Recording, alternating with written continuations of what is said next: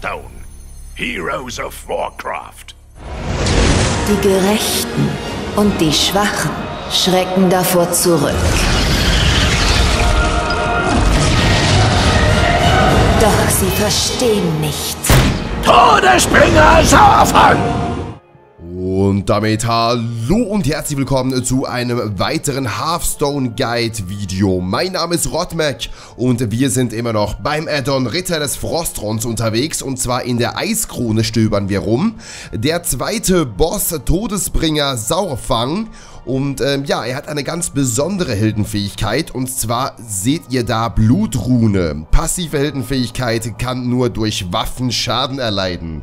Ja, jetzt gibt es natürlich zwei Möglichkeiten. Entweder wir nehmen den Schurchen oder wir nehmen den Krieger zur Hilfe und ich habe mich da ganz klar für den Krieger entschieden. Es funktioniert auch ganz gut. Ihr seht, ich habe es bereits äh, geschafft, gegen ihn zu gewinnen. Eigentlich ganz easy. Wir werden uns das Deck gleich mal anschauen, mit dem ich ihn bezwungen habe und danach werden wir auch noch in die Praxis gehen und schauen, wie sich das Ganze anfühlt, wenn wir gegen Sauerfang spielen. Dieser Todesritter meint es todernst, bringt besser eine Waffe mit. Ja, müssen wir. So, und dann würde ich sagen, wir sehen uns gleich in meiner Kartensammlung und schauen uns das Deck dort an.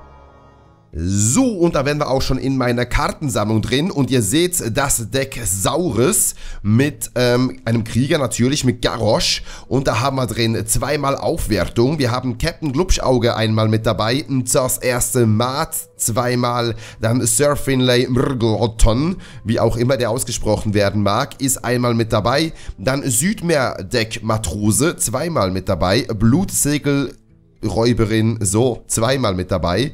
Feurige Kriegsaxt ist zweimal mit dabei, dann heldenhafter Stoß zweimal. Wir haben Hinrichten einmal mit dabei, Schiffskanone ist auch zweimal mit von der Partie. Dann Blutsegelkultistin zweimal dabei, Südmeerkapitän einmal. Wir haben zweimal wütender Berserker mit dabei, bis des Todes auch zweimal. Dann Elitesoldat der Korkron zweimal mit dabei, Schreckenskoras Korsar ist auch zweimal dabei und Zauberbrecher einmal sowie Leroy Jenkins einmal. Ja, es geht wirklich darum, dass wir das Board möglichst ähm, frei halten können und dann mit Waffen aus dem Hinterhalt quasi dem Guten hier schön einschenken. So, das ist das Deck und ich würde sagen, wir starten gleich eine Partie und schauen uns an, wie das Ganze sich in der Praxis verhält. Viel Spaß dabei! Garrosh gegen Todesbringer Sauerfang! Sieg oder Tod. Kommt und stellt euch der Macht der Geißel! Das werden wir, das werden wir, lieber Sauerfang. Und damit willkommen zurück zum Spiel gegen Sauerfang. Und ähm, wir nehmen erstmal die beiden Karten raus. Feurige Kriegsaxt lassen wir noch drinne. Und schauen uns mal an, was wir sonst noch kriegen. Ähm, eine Kanone wäre nicht schlecht, haben wir nicht gekriegt. Schade drum. Wir haben den Elitesoldaten und wir haben Blutsegelkultistin. Und dann gibt es auch noch das erste Mat. Ich würde sagen, die lassen wir erstmal raus und hauen mit einem Schaden da drauf. Ihr seht, wir kriegen hier noch einen Piraten mit dazu, aber auch der kann natürlich keinen Schaden machen, ja. Wenn wir jetzt die Kanone zuerst gehabt hätten, hätte ich gewartet damit, das zu spielen, bis ich die Kanone draußen habe und er ein paar Diener draußen hat. Haben wir aber nicht und deshalb machen wir das so, wie wir das hier machen. Es gibt auch noch zwei Rüstungen und dann geben wir wieder ab. So sieht's aus. Jetzt kommt die Folge Kriegsaxt. Damit wird er wohl war einen Diener von mir weghauen.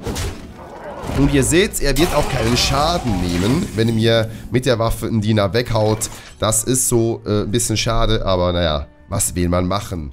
Der gute Bescheiß halt, wo es nur geht.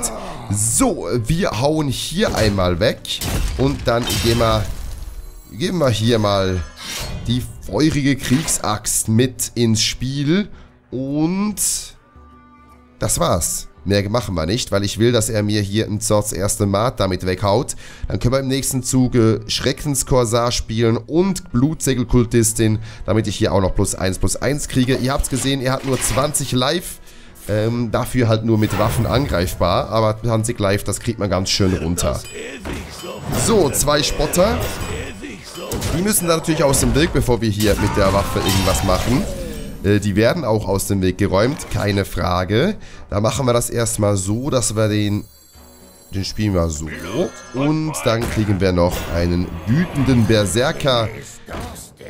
Und dann lassen wir es. Dann lassen wir es so, wie es ist. Und übergeben den Zug. Sauerfang. Nachtheuler. Der Alpha-Wolf. Eine üble Sache.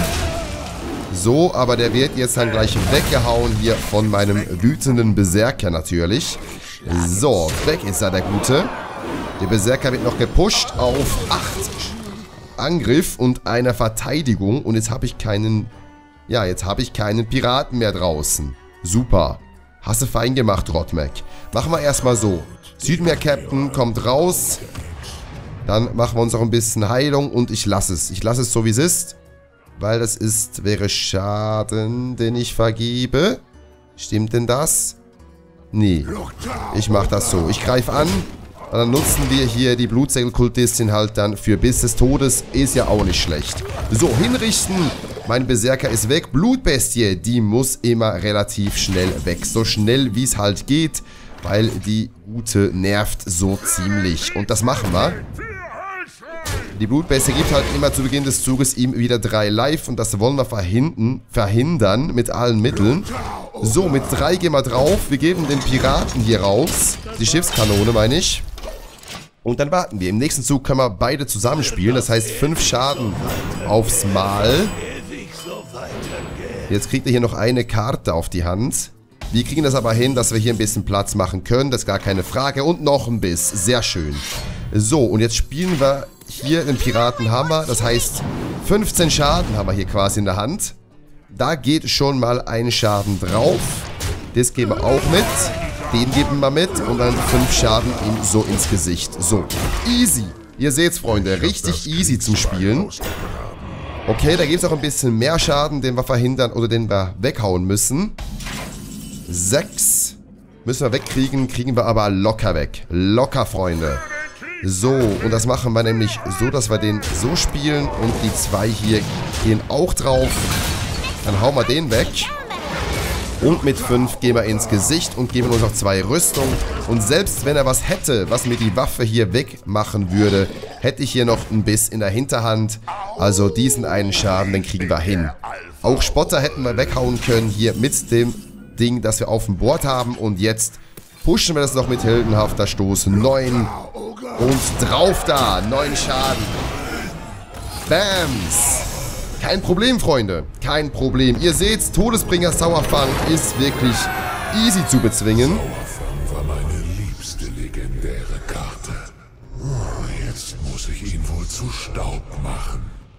Das darfst du gerne. So, mit diesem Deck könnt ihr Sauerfarmer schön den Arsch versohlen. Ich hoffe, das Video hat euch gefallen und vielleicht auch weitergeholfen. Wenn ja, würde ich mich sehr über einen Daumen nach oben freuen und auch Kommentare könnt ihr gerne dalassen. Ansonsten hoffe ich, wir sehen uns beim nächsten Mal wieder. Bis dahin, euer Rotmac. Ciao.